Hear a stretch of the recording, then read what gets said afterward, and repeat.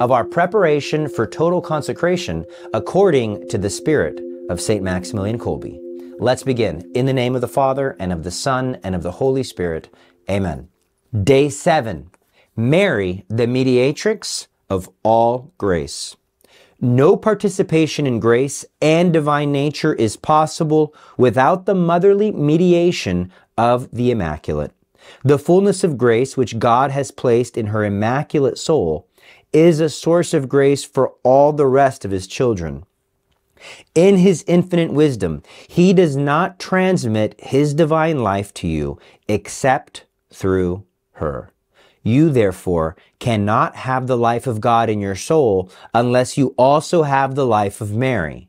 You cannot have God for father unless you have Mary for mother. God does not give a single grace without her. There is no fruit of grace in the history of salvation that does not have as its necessary instrument the mediation of Our Lady. How great are the wisdom and mercy revealed in this design of God! The most gentle and loving Mary is truly your mediatrix with God. Whatever God wishes to give you, He first inspires your mother to ask it of Him. And only then is the grace given through her motherly hands and heart. This truth was understood from the beginning and accepted with the greatest joy by the holy apostles and earliest believers. It was also the belief and teaching of the fathers of the church. All the Christian peoples of every age accepted it. And it is only by the greatest violence and with the most tragic of consequences that this consoling truth can be uprooted from their hearts. As the history of so many heresies against the faith of the church shows us, it is a truth so important for your soul and for its growth in grace that the whole church, and especially the holy pontiffs, has repeated it countless times and with infallible certainty. Our Lady's mediation is truly universal. Even when you are unaware of it or cannot remember it, Our Lady is always interceding for you, for every grace you receive. God, however, does not want you to be unaware or unmindful of having such a loving mother and mediatrix. He wants you to honor your father and your mother. For this reason, there are certain graces he has prepared for you that you cannot receive unless you think of her and pray to her expressly. There are certain graces which you cannot receive unless you ask for them explicitly through the Immaculate. Think about this profound truth and see that it is contained in the gospel itself. If Our Lady had not been there at Cana in Galilee, Jesus would not have worked his first miracle. Had the spouses not invited her to their wedding feast, she would not have obtained this grace from them. This miracle occurred because she was invited, because she interceded, because she spoke to the servants, and because they obeyed her, and only because she was present and asked for it did our Lord anticipate his hour.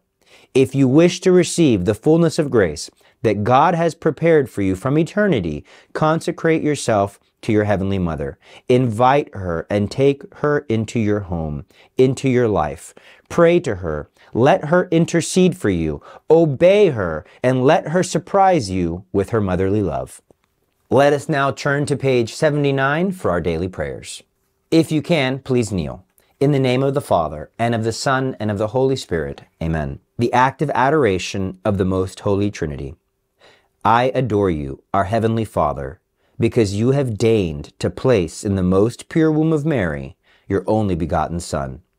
I adore you, O Son of God, because you condescended to enter the womb of Mary and became truly her actual Son. I adore you, O Holy Spirit, because you deigned to form in her immaculate womb the body of the Son of God. I adore you, O most holy Trinity, O one God in the Holy Trinity, for having exalted the Immaculate in such a divine way. and I will never cease daily, from the first moment I awake, to adore you most humbly, O divine Trinity, with my face to the ground, repeating three times.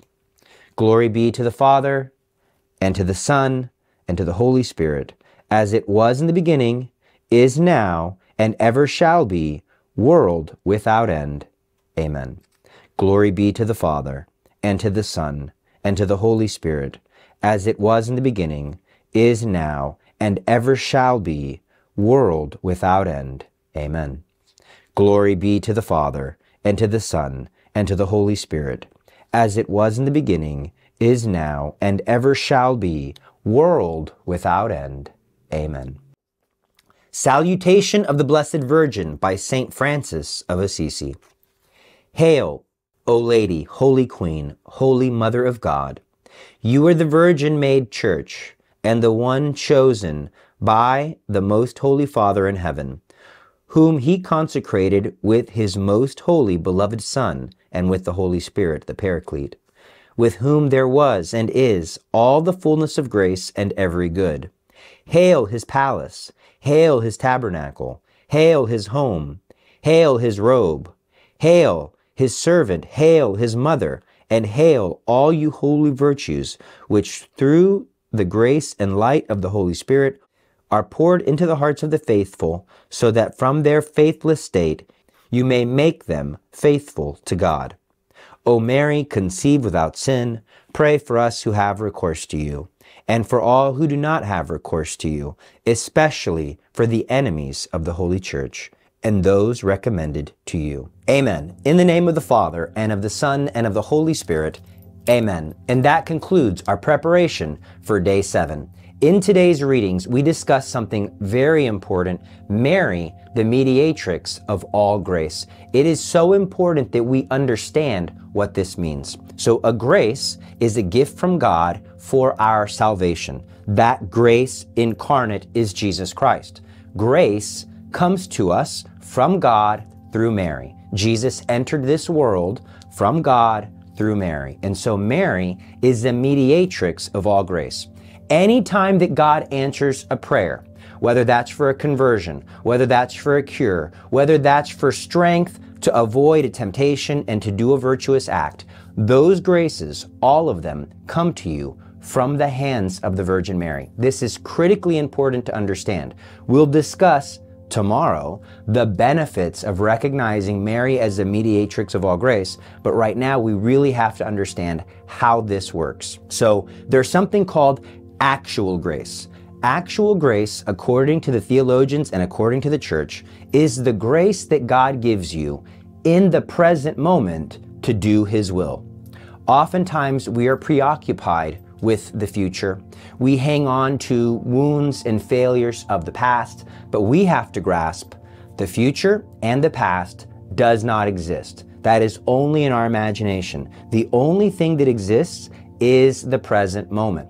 Doctor of the Church, St. Therese of Lisieux, said she does everything in her power to leave the past to God's mercy and leave the future to God's providence because if she didn't, she wouldn't have any peace of soul. All that exists is the present moment.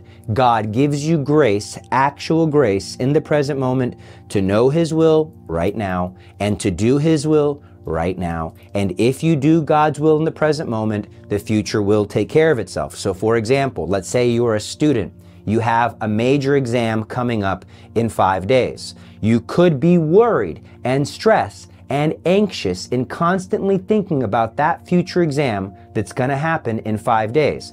But then, if you do that, you will ruin the present moment. Am I saying don't study? Am I saying don't prepare? Absolutely not. In the moment when it is the will of God that you study and you prepare, you study and you prepare, but you are not anxious about the future because anxiety does not add anything to you. And you have to grasp God's grace only applies to this present moment. He cannot apply grace to the hypothetical situation that exists in your mind. So often, because of our imaginations, we can throw ourselves into a frenzy, we can throw ourselves into desolation and into despair and into anxiety because of our fear and our worrying about the future. This shows a lack of confidence in God. This shows a lack of prudence in our part because we're wasting God's grace right here, right now. And experience shows us that when we focus on God's will in the present moment, that the future takes care of itself. The things that we've worried about for days and for weeks and even for years never actually come to pass in the way that we imagined them. So I want you to gain one thing so far. Focus on right now. If a worry about the future comes, shut it out of your mind. Say, God, I leave it to your divine providence. This is an act of faith. Confide, confidence is an act of faith that God loves me and God's going to take care of me. But this really has more to do with your consecration to the Virgin Mary. Why? It is God's will that she give you every grace in the moment at every single moment. So if Mary's role is the mediatrix of all grace, and God gives you actual grace at every single moment, that means the Virgin Mary is so attentive to your soul, words cannot even express it. Our Lady, at every single moment, not only is she looking at you because of her role as your mother, and she has to fulfill that role perfectly according to St. Alphonsus, doctor of the church, but she has the role as mediatrix of every single grace that you receive at every single moment. That means her eyes are never, never, never anywhere but on you. She's looking at you. She knows every blood cell in your body. She knows every thought that you have. She knows every hair on your head. She has to in order to fulfill her role as mediatrix of all grace. So if we're going to be consecrated to Mary, we have two things to keep in mind. Number one, confidence in her, confidence in the Immaculate. She's going to provide us what we need if we ask it.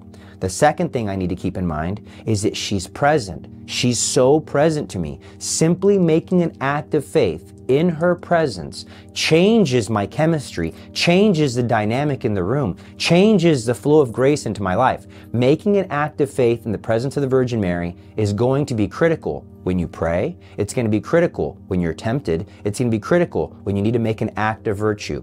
I really want to hammer home with this first little part on Mary's role of mediatrix of all grace that I should have utmost confidence in her. She's always watching me. She's always with me. Tomorrow we'll discuss some of the other benefits of having Mary as mediatrix of all grace and being totally consecrated to her. God bless you, God love you, and we will see you tomorrow.